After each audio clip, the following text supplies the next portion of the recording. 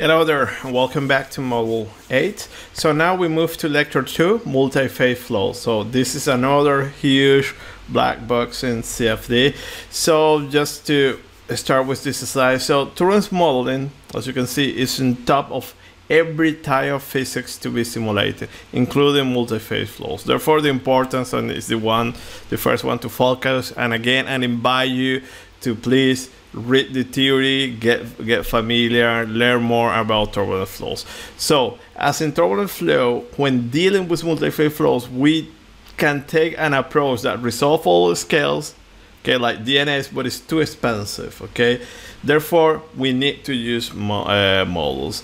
And depending on the multi-phase system, there are models very specific for the multi-phase uh, multi-phase physics involved. Okay, multi-phase flows in general are heavily modeled okay? And we see here well we have this diagram and we have here many types of physics. So we so far we have addressed now single phase all speed aerodynamics but now here multi-phase it can be subdivided in separated system and dispersed system. Later we're going to see. And at the same time dispersed system can be separated in Euler-Euler approach and Euler-Lagrangian Lagrangian approach. Then we have also here aeroacoustic combustion, magnetodynamics, fluid structure interaction, and much, much more. Okay, so everything depends on turbulence modeling, and then multi-phase get very, very complicated. So, what is a multi-phase flow? Just to give you the basic definition, no, it's a flow consisting of more than one phase component and have some level of phase separation above molecular level and this is very important okay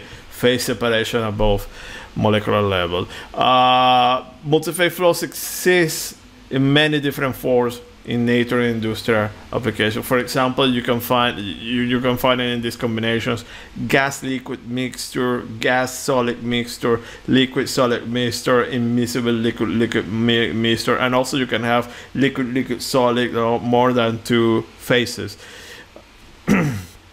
so multi-phase flows are present in many industrial processes and natural systems. And I have to say, the most interesting applications that I deal with are multi-phase systems. Okay, in my personal opinion, this is something that is worth you know learning well how to do, how to to how how to solve, you know, do CFD simulations, multi-phase flows. Okay.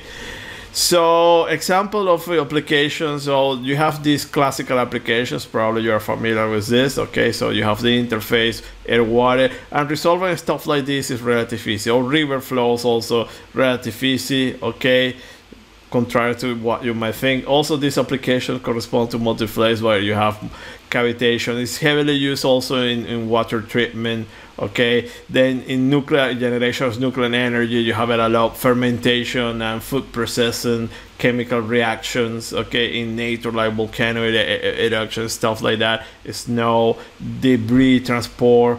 You have it all around okay? So in nature industrial uh, applications it, is widely widely di diffused so simulating multi-phase flows is not an easy task okay first you have uh, turbulence model in there. Okay, you need to deal with that. But then what it will make it even more co co uh, complicated is that you have more than one one working fluid. Okay, they are transient in nature. Okay, so I have to say that 95 percent of the time, multi-phase flows you need to do to solve it fully transient. Okay, it's rarely when you find an steady solutions of multi-phase flows.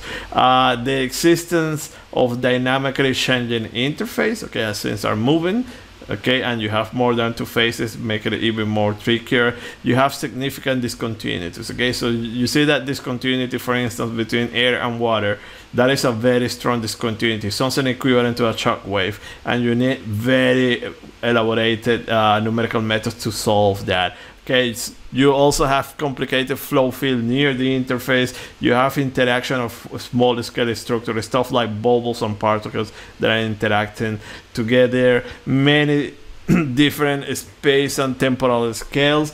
You can have also dispersed phases and particle-particle interaction. You can have also mass transfer and phase change. You add to that turbulence and makes things really, really difficult.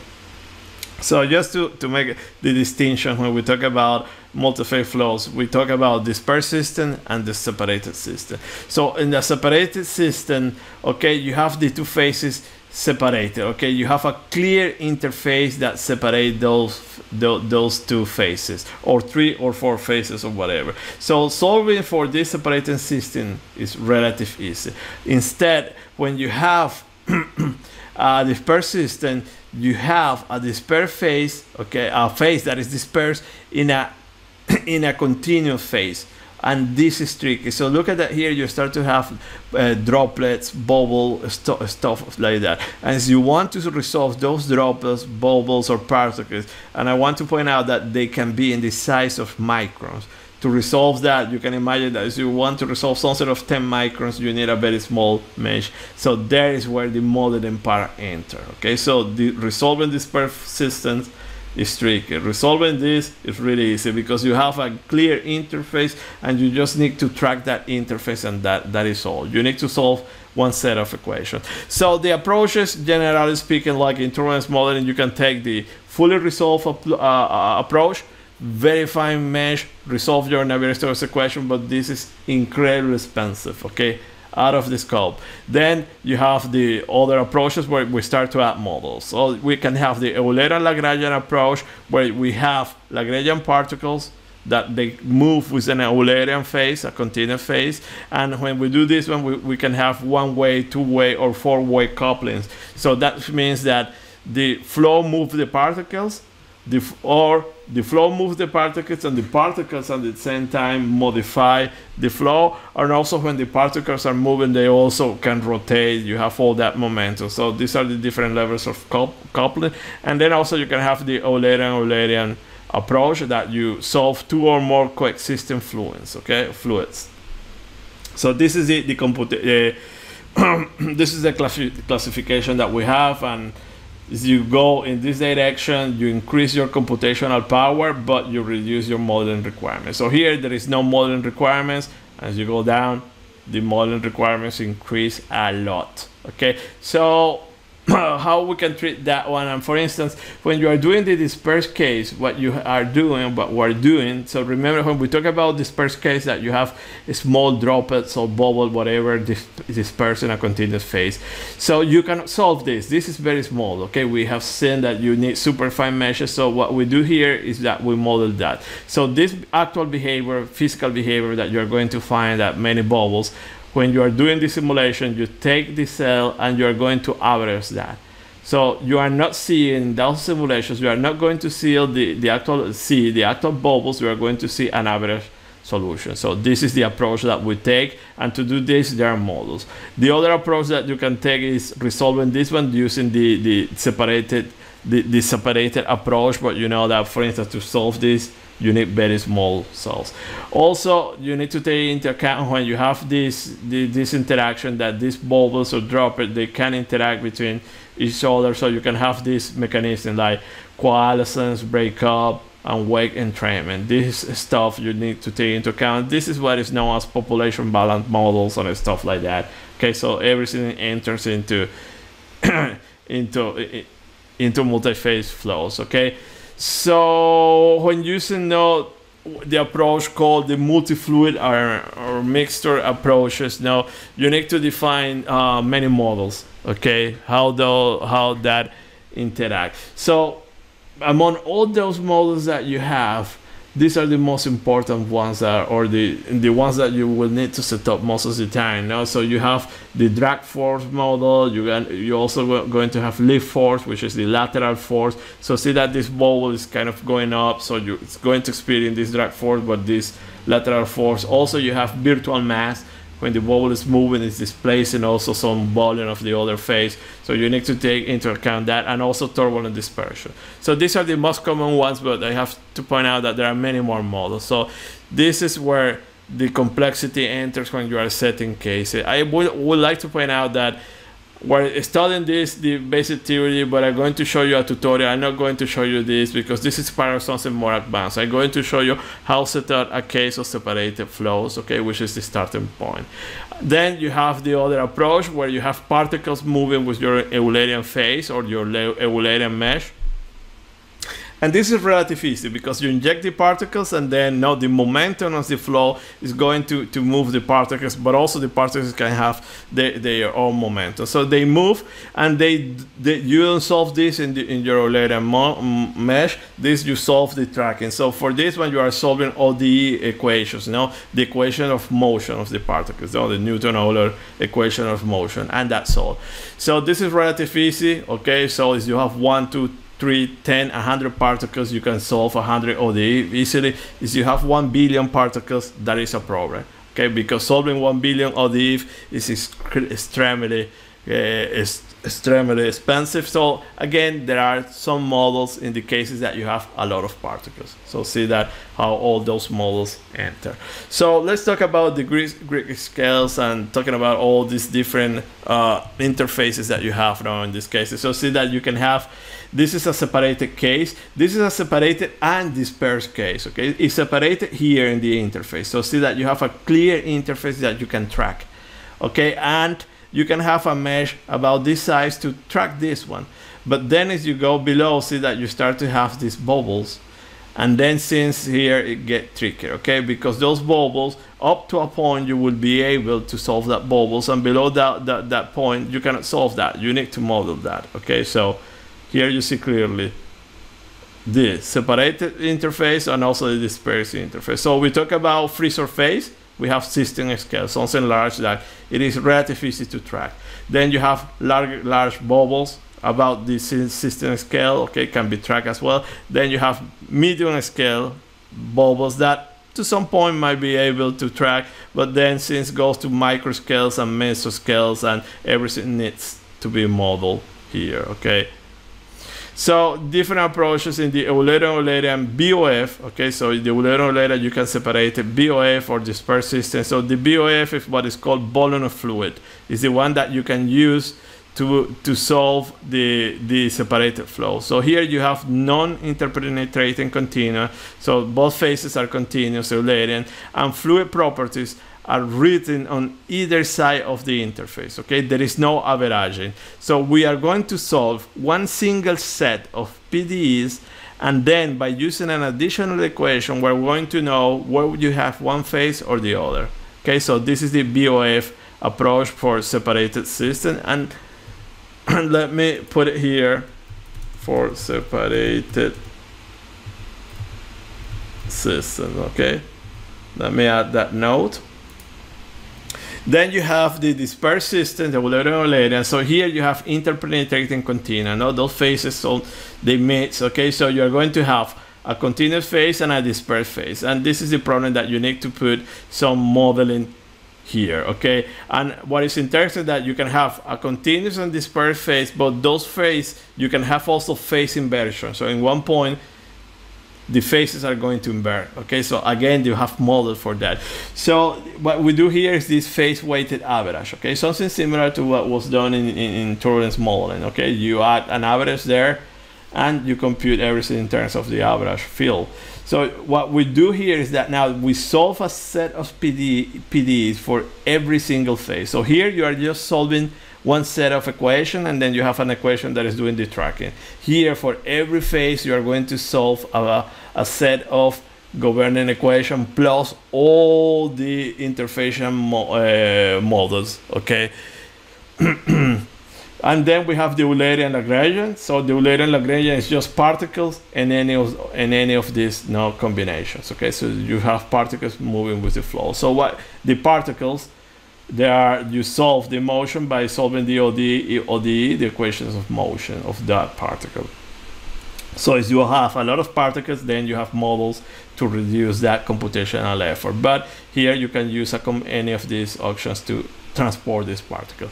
So just to show you some applications, so separating systems, so see that this is relatively easy. It seems it seems very elaborated, no something something fancy, but it's super easy to solve. Okay.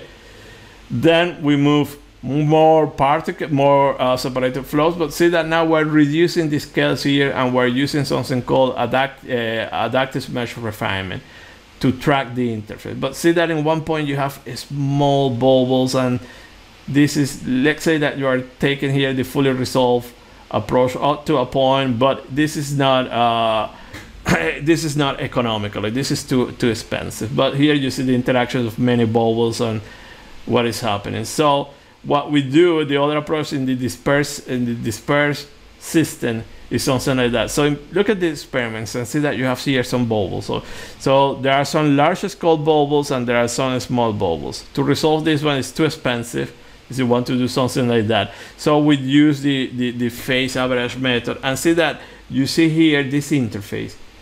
This is this bubble column, but here you are not looking at single bubbles, you are looking at the average solution. Surprisingly, this works really well, okay? If you calibrate the model because there are many models involved and see here in this figure, there is a combination of many models and you, you see that there are very different results. Some of them are completely wrong, some of them are, are right. And this is the best combination. So here in this case, we calibrated to get now the best results and see that we have experimental results and the numerics is a very, very good agreement. Okay, so this is basically what we're doing here in this dispersed approach. Heavily model. Okay, there are a lot of models involved there. And then we have this other approach. So remember when you have particles and you have billions of particles, solving that is too expensive. So what you can do is taking those particles a, as a continuous phase. So this is what, what is called Eulerian granular KTGF or kinetic theory of granular flow. So it take it does something similar to the kinetic theory of gases, no something a similar approach, but the particles are simulated as a continuous.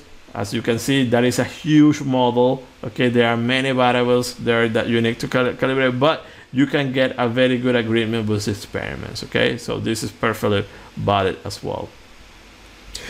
Then also you can, in this case, the Lagrangian particles, so see that you put all those particles. So you have flow coming here, okay? So flow coming and is moving the particles and all these particles between, are interacting between each other, okay? They are interacting between each other with the walls. They also modify the flow and the flow modify the trajectory of the particles. So this is the fully coupled approach. As you see, this can be also very expensive. Okay, so in this case, we have something about 40,000 particles.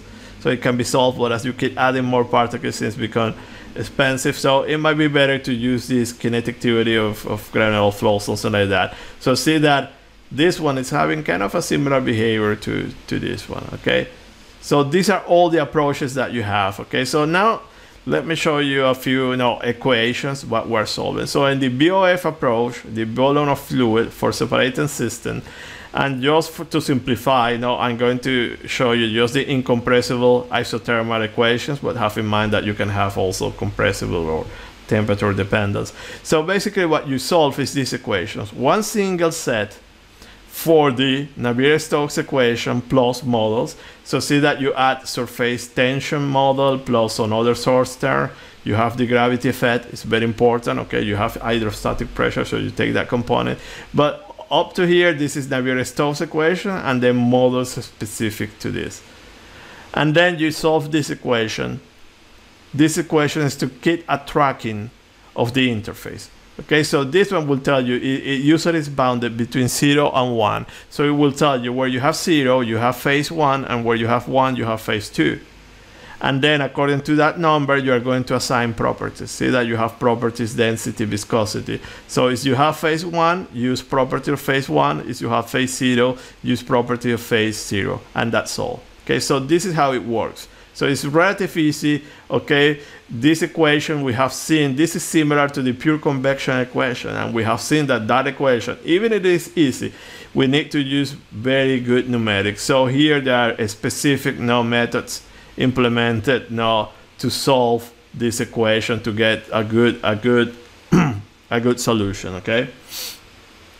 So what is happening is this, what I say now that zero, you have one phase, one, you have the other phase, and all the values in between will represent the interface. So usually 0.5 would be properly the, the, the interface. And according to the phase that you have, you are going to choose a phase like this, okay?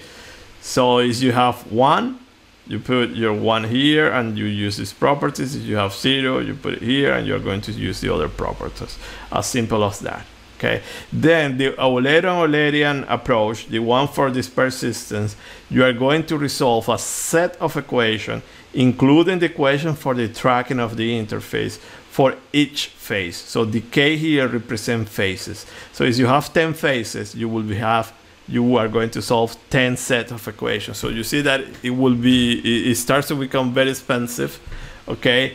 But also see that in these equations, here you have these models, okay? So this is like in the VOF, the surface tension, but then you have NK here, that this represent all the momentum transfer models, okay? How all these phases interact. And when it comes to that, there are many models involved. Already mentioned that you can have drag forces, lift forces, uh, virtual mass, turbulent dispersion, the shape of the of the particles. Also, there are models. Okay, you can have perfect spherical bubbles, or you can have elliptical ones. So there are many models involved there, and things get tricky. So then we go to the last one that is the Eulerian Lagrangian governing equation. So in this frame, framework, you can you have a continuous phase that is solved in an Eulerian reference system, meaning no, it just continues, and then the particles or the dispersed phase is solved in a Lagrangian reference system. Okay, the particles can be transported passively, or they can be coupled uh, with the with the fluid with the governing equations. Okay, that is they can modify the the fluid fluid field. The particle's motion is calculated by using the, an ODE for every single particle, no? the Newton-Euler equations of motions. Uh, these particles can interact with, with, with boundaries, they can escape, bounce, stick, or for a wall field. So these are models that you're going to put there because you can have this inelastic or elastic collision and stuff like that. Uh, this formulation also can take into account particle interaction and mass transfer. And this is important, mass transfer, because usually this approach is very often used for combustion. You have combustion and you inject the fuel and the fuel is particles and then at one point they can uh, evaporate they can they can trigger the chemical reaction whatever. So basically what you are solving is this equation Newton-Euler equation of motion plus any of the previous Eulerian formulations okay? You can use a single or multi-phase with no problem. So you go multi-phase things get more complicated but this is what what you are doing okay? So in OpenFOAM, just to talk, just to end here, we're ending. In OpenFOAM, there are many interfacial mo momentum transfer models implemented. Okay, this is when it comes to this persistent. Okay, so here you have the location of those libraries. So I invite you, you know, to to visit and see the models, but things can be really complicated, and I don't want to go into detail because this is a training that we do a whole day dedicated only to this. You need to have very good foundation foundations okay? So the multi-phase solvers that you you are going to find in OpenFOAM so or the ones that you are going to use most of the time because there are many of them there for the VOF approach is called interFOAM okay? So if you are going to use its separated system interFOAM is the one to use. If you are going to use Eulerian Eulerian as you're going to, to, to, to, to take the Eulerian Eulerian approach for this persistent, these are the solvers that you have available. twoPhaseEulerFoam and multiphaseEulerFoam. This is we're talking about OpenFOAM 9, by the way. Same chance with older versions, since we're were a little bit more messy, but now they are standardized and everything. Then for the Eulerian Eulerian granular theory of, uh, for the kinetic theory of granular flows, you have this one twoPhaseEulerFoam, which is the same as this one. So there are some differences in the, into the input dictionaries. And then for particle, you have these two, okay, DPM and MPPIC phone. So the difference between these two are the models, okay? So they, they are using different models.